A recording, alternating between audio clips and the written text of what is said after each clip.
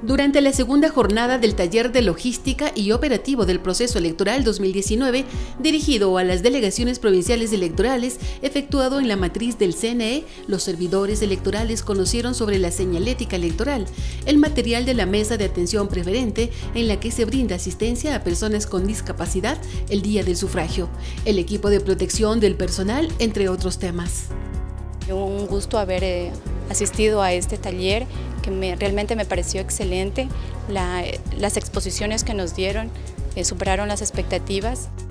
El llamado que se hace a las contrapartes, a directores cuando tenemos que coordinar este tema, que no solo lo hace ya el funcionario de la, del área o la unidad técnica.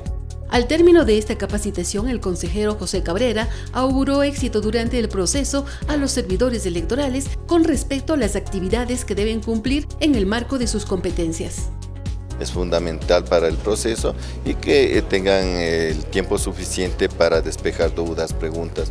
Esa es la idea de que estemos preparados todos para el día 24 de marzo del 2019.